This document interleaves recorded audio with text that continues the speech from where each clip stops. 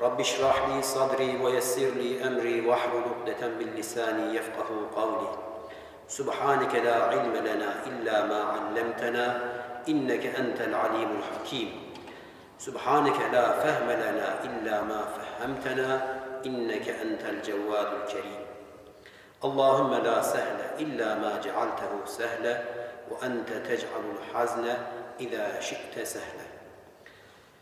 Allahümme barik lena fi recebe ve şaban ve belligna ramazan. Bizi bu mübarek günlere kavuşturan Rabbimize sonsuz hamdü senalar olsun. İnşallah bugünkü sohbetimizde ibadetlerin anlam ve önemi üzerine konuşacağız. İbadet kelimesi sözlükte boyun eğmek, alçak gönüllülük, itaat, kulluk, Allah'a tapmak, tapınmak gibi anlamlara geliyor. İbadet kelimesi kavram olarak ise sınırları ve hükümleri hem fıkıh kitaplarımızda ve ilmi hallerde belir, belirlenmiş olan belli ibadetlerden oluşan e, hareketlere, Allah'a karşı göstermiş olduğumuz taatlere ise arkadaşlar ibadet diyoruz. İbadet kelimesi Arapça abede yani kul, Abdullah, Allah'ın kulu gibi ibadet ve ubudiyet kelimeleri ve kavramları aynı kökten türemiştir. İbadet, kuralları belli olan namaz gibi, oruç gibi, hac gibi, zekat gibi e, ibadetlerimiz olduğu gibi ubudiyet ise bu ibadetlerimizin kulluk bilincine yani anlamlarına bu ibadetlerin bize ne ifade ettiğini e, den anlamlarına ise arkadaşlar ubudiyet yani kulluk bilinci diyoruz. Bu anlayışa göre ubudiyet kulluk bilinci, ibadetler ise bu kulluk bilincinin gereğidir arkadaşlar. Bir başka anlayışa göre ise ibadetler belirli davranış şekilleri ibadetlerde öne çıkarken ubudiyetler bu ibadetlerin içini dolduran ahlakımız ve ibadetlerin özüne ise biz ubudiyet diyoruz. Bu anlamda özden, içerikten yoksun olan yalnızca şekil olarak yapılan ibadetlerin Allah katında da çok makbul olmadığını biz görüyoruz.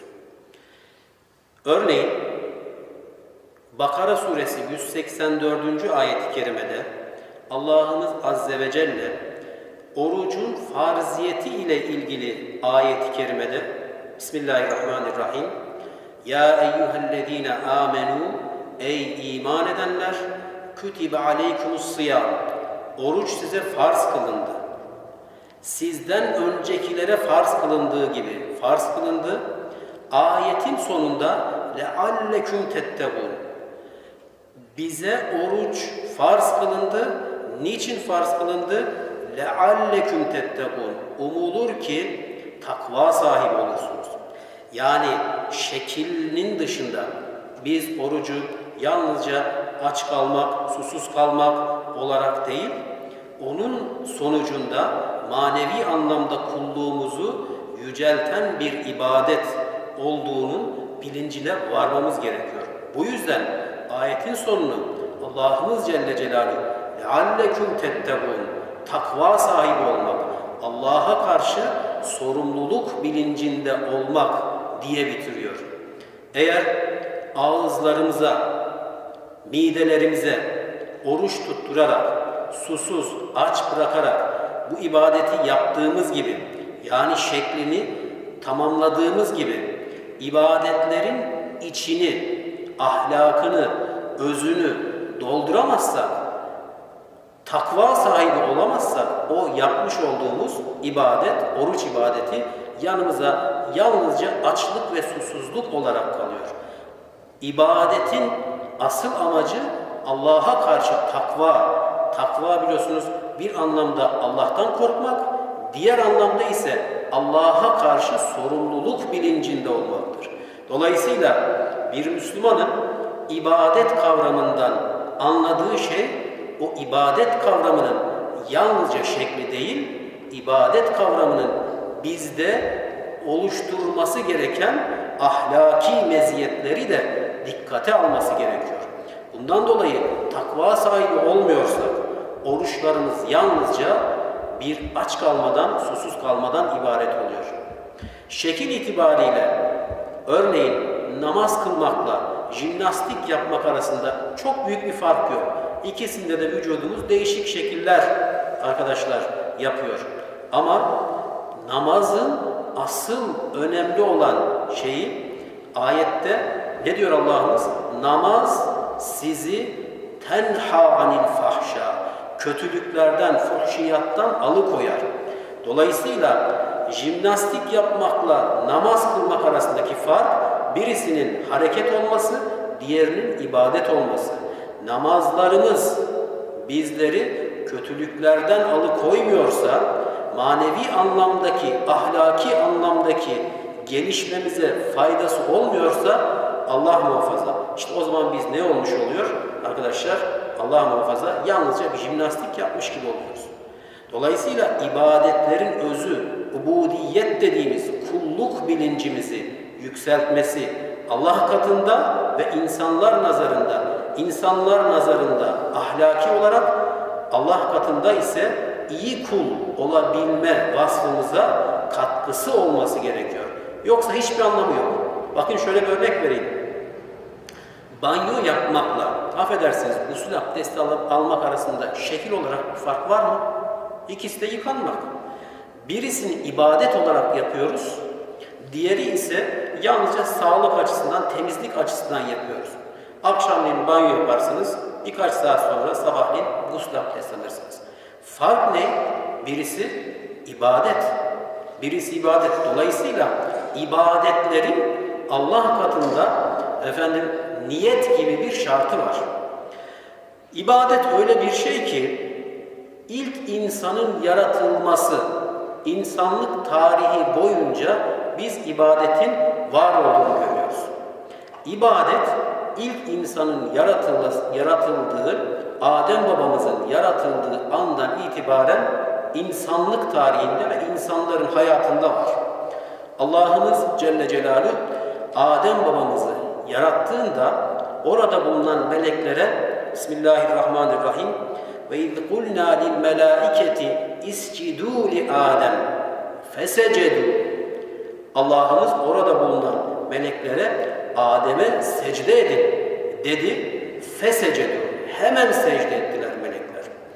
Gördüğünüz gibi arkadaşlar secde etmek yani Allah'ın kapısının önünde eğilmek, secde etmek, Peygamber Efendimizin tabiriyle secde kulun Allah'a en yakın olduğu an.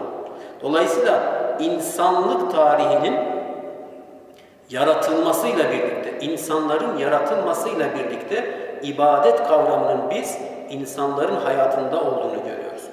Adem babamız ilk yaratıldığında Allah'ımız secde edin de, der demez orada bulunan bütün melekler ne yaptılar? Secde ettiler. İlla iblis, yalnızca iblis secde etmedi. Eba ve stekbera, kibirlendi, büyüklendi ve kâne minel kafirin ve kafirlerden oldu. Demek ki kibir ve e, büyüklenmek Müslümanın hayatında olmayacak. Çünkü niye? O şeytanın özelliği. Eğer kibirlenirsen Allah muhafaza kibirliler cennete giremez diyor mesela bir hadis-i şerifte Peygamber Efendimiz. Kibir olmayacak yani. Yine ayet-i kerimede biliyorsunuz yeryüzünde dolaşırken mağrurlanma, kibirlenme, yeryüzünde itidalli yürü diye biliyorsunuz bir ayet-i kerime var arkadaşlar. Kur'an'a biz baktığımızda hemen daha Kur'an'ın başında Fatiha suresinde biz şunu görüyoruz arkadaşlar. Bismillahirrahmanirrahim. Fatiha suresi 5. ayet-i kerime. İyyâke na'budu ve iyyâke nesta'in. İbadet kavramının, kulluk kavramının, ubudiyet kavramının arkadaşlar biz daha Kur'an'ın en başında Fatiha suresinde Allah'ımızın bizim gündemimize getirdiğini görüyoruz. Ne diyoruz? Fatiha suresinin ilk başında, ilk dört ayetinde Allah'ımızın yerlerin ve göklerin sahibi olduğunu, Allah'ımızı yüceltiyoruz. Elhamdülillahi Rabbil Alemin, Errahmanirrahim, Maliki Yevmiddin. Allah'ım sen din gününün sahibisin, sen en büyüksün diyerek Allah'ımızı yücelttikten sonra orada bir durum tespiti yapıyor Allah'ımız. Bizden şöyle söylememizi, şöyle yaşamamızı, İyyâke na'budu, yalnızca sana kulluk ederiz. Yalnızca sana kul köle oluruz ya Rabbi. Senin dışında hiçbir varlığa böyle kulluk yapmayız. Seni sever gibi hiç kimseyi sevmeyiz. Senden korkar gibi hiç kimseden korkmayız diye Allah'ımıza ne yapıyoruz? Orada bir söz veriyoruz. İyyâke na'budu, Allah'ım yalnızca sana söz, yalnızca sana kul olacağım. Ve iyyâke nesta'in ve yalnızca senden yardım dileyeceğim diye Allah'ımıza orada bir söz veriyoruz arkadaşlar.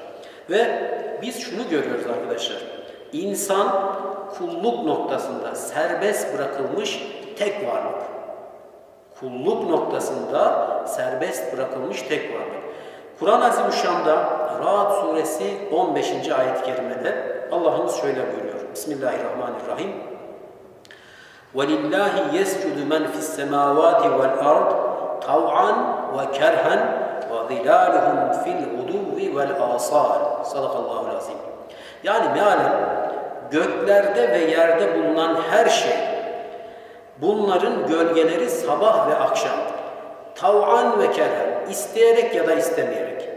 Tav'an ister kendisi istesin, ev kerhen yahut da istemesin, onlar mutlaka ne yaparlar? Her şey Allah'a secde eder. Dağlar, taşlar, bütün hayvanlar, herkes Allah'a secde ederler.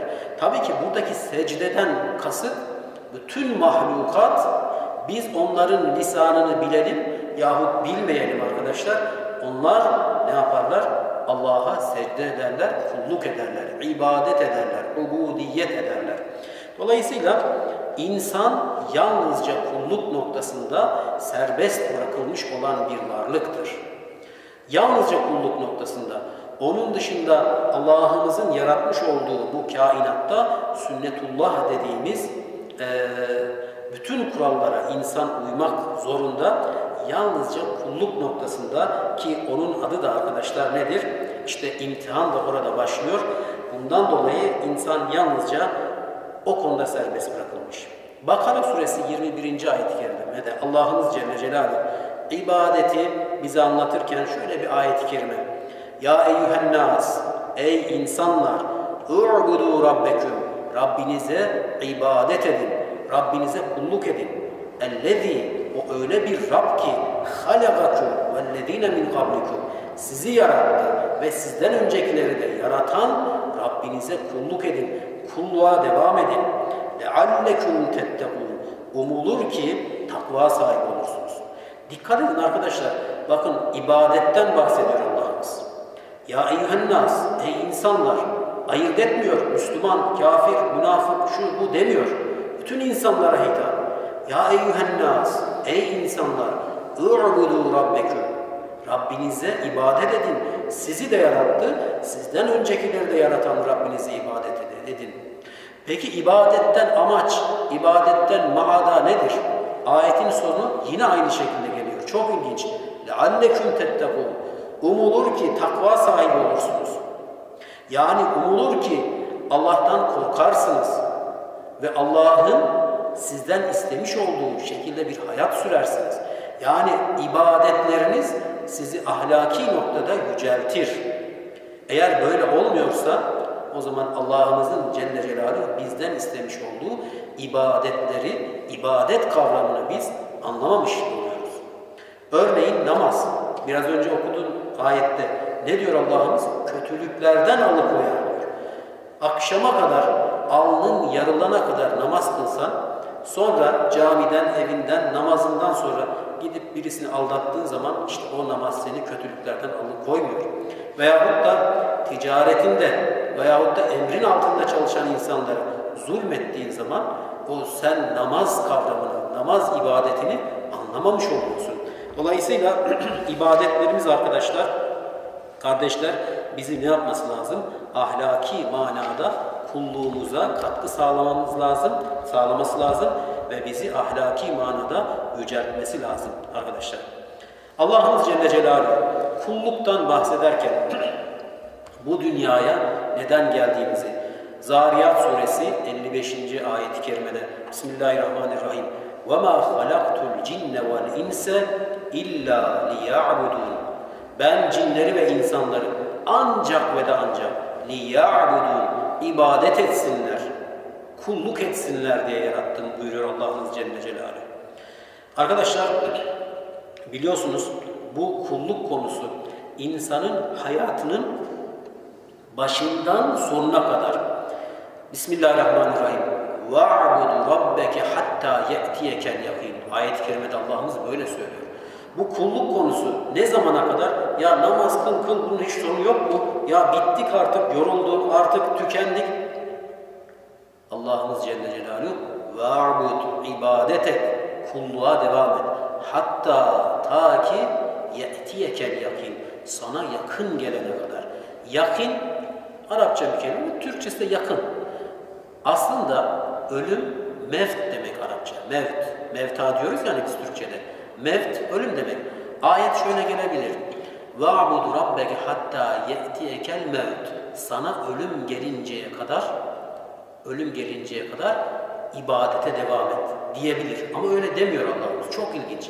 Ne diyor ayette? وَعْبُدُ رَبَّكَ hatta يَأْتِيَكَ الْيَقِينَ Allah'ımız ölümü Kur'an'da yakın olarak bahsediyor arkadaşlar.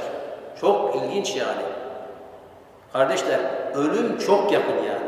Ölümün sana, bana veyahut da 70-80 yaşındaki dedeye yahut da 15-20 yaşındaki ya da daha büyük ya da daha küçük kadın erkek ayırmaksızın bütün canlılara, insan, hayvan, bitki herkese ulaşacağını Allah'ımız ayet-i kerimede öyle söylüyor. Her nefis, Bismillah, kullu nefsin zâikatul mevt. Her canlıya, her nefis taşıyana ölüm ulaşacak. Dolayısıyla ne zamana kadar ibadet edeceğiz? Nasıl ibadet edeceğiz? Allah'ın ve Resulünün razı olduğu şekilde ibadet yapmaya hatta yetiyekel yakin ölüm bize gelene kadar devam edeceğiz. Şimdi bu noktada bir şeyi anlatmak istiyorum. Arkadaşlar, ibadetler yalnızca yapılan şeylerle olmaz. İbadetler bazen yaparak, bazen de yapmayarak olur. Biz bunlara Allah'ımızın emir ve yasakları diyoruz. Emirler yapılır, yasaklardan da kaçınır. İbadet deyince yalnızca hadis kitaplarımızda, fıkıh kitaplarımızda, Kur'an'da bahsedilen namazdır, oruçtur, hacdır, zekattır. Evet bunlar büyük ibadetlerimiz. Aklımıza gelmeyecek. Bunlar yapılacak farz. Bir de yapılması yasaklanmış olan, yani kaçınarak, yapmayarak kazandığımız ibadetlerimiz var. Mesela bir Müslümanın gözünü, gönlünü haramdan korumaya çalışması. Bu da bir ibadettir. Bakın bunları yapmayarak sevap kazanıyoruz. Yalan söylemeyerek. Bu da bir ibadettir. Yanı başımızdaki komşumuza, derdi tasası olan bir komşumuza, bir Müslüman kardeşimize, güzel bir kişi, onun bir derdi, bir tasası var, ona gönül alıcı bir söz söylemek de bir ibadettir. Dolayısıyla ibadet kavramını, kulluk olayını yalnızca arkadaşlar beş vakit namaz ya da bizim bildiğimiz fıkıh kitaplarımızda geçen e, namazlarla, oruç zekatlarla sınırlandırmamamız gerekiyor. İbadetler Müslümanın hayatının her hepsini karşılar. Peygamber Efendimizin malum herkesin bildiği bir hadis var. Arkadaşlar İmanı anlatırken Peygamber Efendimiz iman 70 küsür şubedir. En başı La ilahe illallah diyerek başlar. En aşağısını anlatırken ne diyor? Yoldan insanlara eza cefa verecek bir taşı alıp kenara koyması da bir iman göstergesidir diyor.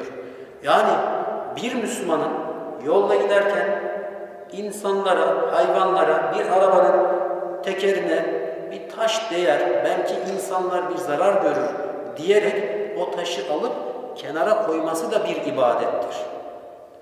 Ana babana iyilik yapman, öf bile dememen de bir ibadettir. Komşuya iyilik yapman da bir ibadettir. İnsanların senin elinden ve dilinden emin olması da bir ibadettir. Dolayısıyla ibadetler bir yapılarak, ikincisi yapılmayarak sevap kazanılan ve Müslümanın hayatının her anını kapsayan, yapılarak ve yapılmayarak yapmış olduğumuz hareketlerin hepsine ibadet diyoruz.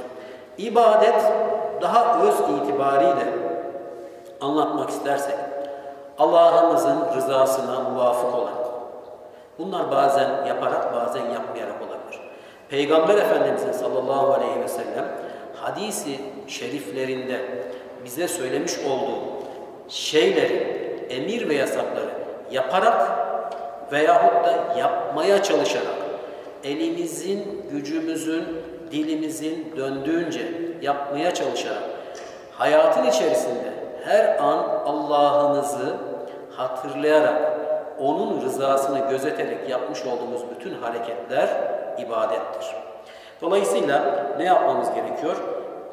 İbadet konusunda ibadetlerimizin içini doldurmamız gerekiyor. Şunu anlayacağız. Namaz kılmak şekil değil. Onun içini dolduracağız. Namazlarımız ahlaken bizi yükseltecek. Oruçlarımız ahlaken bizi yükseltecek. İbadetlerimiz Allah'a kul olma noktasında, iyi Müslüman, iyi insan olma noktasında bizi bir derece daha, iki derece daha, beş derece daha yükseltecek. Müslümanın yapmış olduğu ibadetleri gören, Müslim ya da gayrimüslim, bak bu adam Müslüman, bak bu adam güzel ibadeti sayesinde onu ahlaken yükseltmiş, biz bunu anlıyoruz bundan diyebilecek bir seviyede olmamız gerekiyor değerli kardeşlerim. Rabbimizden niyazımız ve duamız şudur ki, Rabbimiz inşallah yapmış olduğumuz ibadetlerimizin içini doldurabilmeyi, yapmış olduğumuz ibadetleri yalnızca şekil olarak değil, ahlaki meziyetlerimize de, kimliğimize de, kişiliğimize de olumlu katkı yapmasını önce bizim şahsımızın sonra da bütün ümmeti Muhammed'in bu güzel ahlak seviyesine katkısının olmasını Yüce Rabbimizden niyaz ediyoruz. Velhamdülillahi Rabbil Alemin.